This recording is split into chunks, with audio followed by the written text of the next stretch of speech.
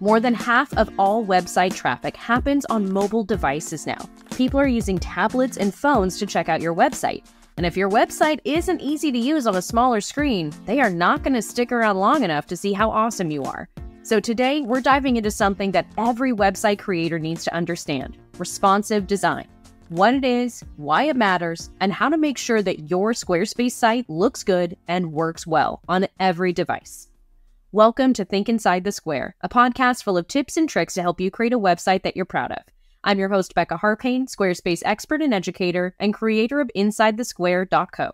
In this episode, we're talking about one of the most essential elements of great web design making your website responsive. A responsive website automatically adapts to look great and function well on different screen sizes. And yes, technically, Squarespace does this for you, but there is so much more to the story. For a full transcript of this episode and the links to any tools and resources mentioned, visit insidethesquare.co forward slash podcast. The term Squarespace is a trademark of Squarespace Incorporated. This content is not affiliated with Squarespace Incorporated. This episode is sponsored by my very own Squarespace Code AI, known as Custom Codey. Custom Codey is the world's first AI trained to be an expert at writing code for Squarespace. That's right, you can ask Custom Codey any question about how to customize your website, and they'll generate the code that you need to make that magic happen.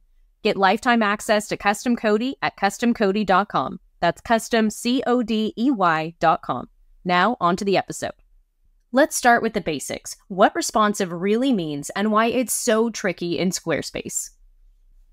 A responsive website is one that automatically adjusts its layout, font sizes, images, and spacing, the content of a site, to fit the screen it's being viewed on whether it's a big desktop monitor, a tablet, or a tiny phone. Now, behind the scenes, this happens at different screen widths that are called breakpoints.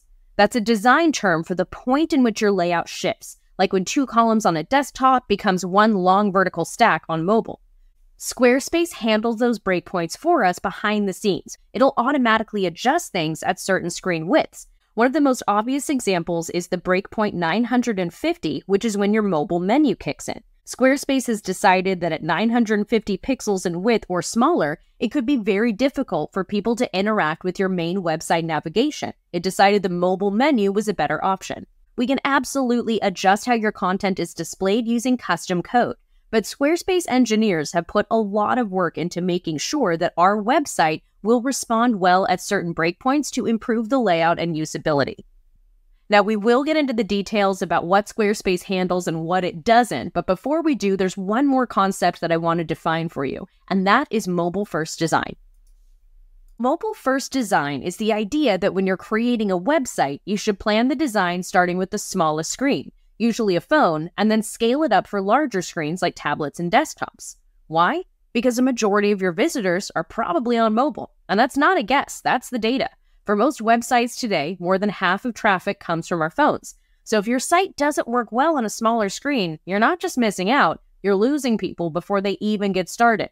But here's where it gets tricky. When you hop in to edit your Squarespace website, it's going to start you in desktop view. When you're building your site, you're looking at this big, beautiful full screen layout. You've got columns, you've got background images, all of this gorgeous breathing room. It's very easy to fall in love with how it looks on your laptop but your visitors aren't guaranteed to see that version. If someone visits your site on a phone, which again, most people do, their experience is going to be completely different. So, mobile first design is about flipping the script. You can use the mobile preview mode while editing, that little phone icon on the top right hand corner of the Squarespace editor.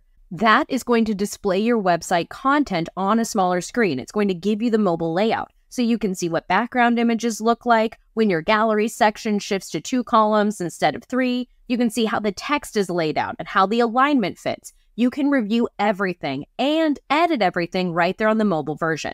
Now, there are a few nuances that you should know. The first is that you can't change the content of your website without affecting any version, both desktop and mobile. If you change the text or the images, any content inside the content blocks themselves, that's going to change that content on any version of your website, no matter what device you're using to look at.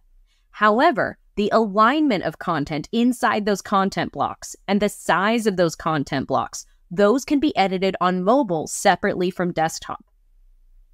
That means you can change the vertical alignment for things, even the horizontal alignment for things. You can change what content block is going to show up first on mobile, and it won't change anything about the desktop version of your site. So, again, when you're editing your website, yes, the Squarespace editor will instantly pop you into the desktop view, but you can click that mobile preview icon on the top right hand side of your screen, and you can edit the content on the mobile version of your website first. Now, I don't want to gloss over the key word in that last sentence. You can edit the content in the mobile preview. Be advised, you cannot add a content block in mobile preview. You can't even add a page section. You'll notice if you try, you're not going to be able to interact with that feature like you normally would. Adding content needs to be done in the desktop version of your Squarespace website. So you'll need to go to the desktop preview to add content in that desktop version, including new page sections. But as soon as you do, you can go back to mobile preview to start editing that content and rearranging it for your mobile first design. Now, who knows? Maybe in the not too distant future, Squarespace will make some changes to the editor, but at the time of recording this, we can only add content on the desktop version. And I strongly recommend that once you have the content on the page, hop into mobile view and start your design there first. When you start designing mobile first in Squarespace, there are three things that most designers notice that I want to talk about in this episode. The first is that text can look great on desktop, but overwhelm on mobile. You might find that the headline you wrote that is absolutely perfect for your landing page, that spans the whole screen on desktop and looks great, takes up the entire view on a phone.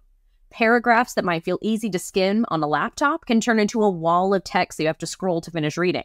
So, when it comes to mobile first design, you might need to adjust the length of your content, your font sizes, change up your line breaks, or rethink your layout just for mobile. Now, if you have a completely different layout concept for mobile, where you have to change things dramatically from what you designed for the desktop view, there is a code trick that I love to use called the mobile section swap. I will include a link to my tutorial video about this in the show notes for this episode at insidethesquare.co forward slash podcast. All right, we talked about text. Let's talk about buttons next. On a phone, buttons need to be big and they need to be far apart. People are using their thumbs, not a cursor. So if buttons or links are way too close together or they're too small, it can be very frustrating. And that means the user is much more likely to bounce. Make sure that your buttons have enough padding and space to breathe, especially when they're stacked. When you add a button to Squarespace, you can choose the fit versus fill option. When this first showed up in Fluid Engine, I was pretty excited about it because fit seemed to be perfect for resizing a button for the content. I very quickly realized that fill is a much better choice. When you set a button to fill, the button block will fill the entire space of the content block, which means on a mobile device, you can stretch that button to be full width, so it's very easy to click with the thumb. You can also stretch it to only take up half the screen if you want to encourage people to keep scrolling. This also makes it very easy for buttons to be stacked and gives them enough padding to separate the edge of the button from the text inside. So again, I prefer to set my buttons to fill when I'm designing mobile first. And last but not least, let's talk about the layouts that break. Layouts that look amazing on desktop can fall apart on mobile. Overlapping blocks and layered images might look cool, but when it comes to responsive design, they can be so messy. One of my favorite pro tips for layered images is to layer them outside of the editor. Create a layered image effect in a program like Canva or Adobe Express, and then upload that as a PNG with a transparent background to your Squarespace website. Fake that layered effect so that it's going to show up perfectly no matter what screen size someone is using to access your site.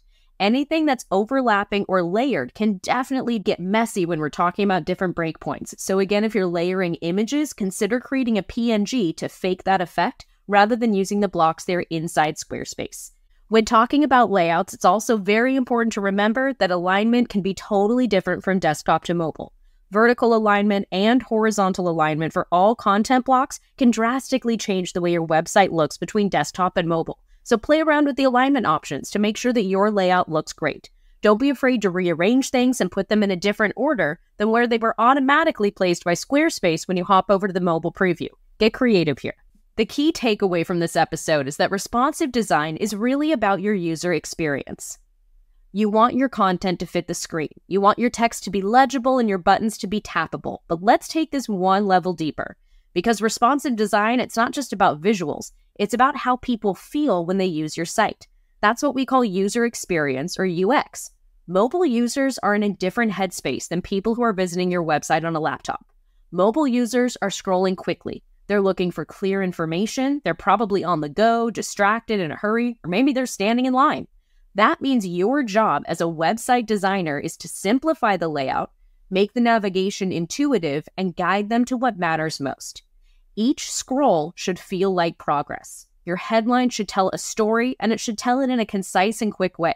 Your section should flow naturally, and your calls to action, your buttons, your forms, your links, they should be clearly clickable and make sense. Think of your mobile site as a tour guide. It should say, here's where you are, here's where you want to see next, and here's how to get there. If people get lost or confused, they're going to leave, not because your content isn't good, but because the experience didn't support them. Responsive design is how you show your visitors that you respect their time. You're saying, hey, I know you're on your phone, let me make this easy for you. And that is what builds trust. All right, my friend, let's make this practical. You've got an action step for today. Here's what I want you to do open up your Squarespace website on your phone, on your tablet if you have one, and on your computer. Now, if you don't have a tablet, here's what I want you to do open up a second browser window and go to your website, and then shrink that window so it only takes up half the screen. That is going to mimic a tablet breakpoint. I want you to look at your home page, a services or a sales page, a contact page. Pick three key pages from your website. And for each one, here's what I want you to ask Can I read everything without zooming in? Are the buttons big enough to tap? And do I know what to do next? If you spot anything that feels awkward or unclear or frustrating, make one small fix today. Maybe that's adjusting the button padding or reordering a mobile layout. Even one tiny improvement to alignment in a content block can make a huge difference in the user experience. I hope this episode has given you a fresh perspective on the concept of responsive design. Yes, Squarespace does it for us automatically, and no, it is certainly far from perfect every time. But we as Squarespace designers do have a lot more flexibility. So why don't you give it a try? Take a look at the mobile layout first before you design desktop and see if you can create a better user experience one page at a time. Thank you so much for tuning into this episode of Think Inside the Square. For a transcript of this episode, along with links to helpful resources, be sure to check out the show notes at insidethesquare.co forward slash podcast. And if you enjoyed this episode, let me know in the comments below and subscribe wherever you happen to be listening. Thanks again for tuning in, and most importantly, have fun with your website. Bye for now.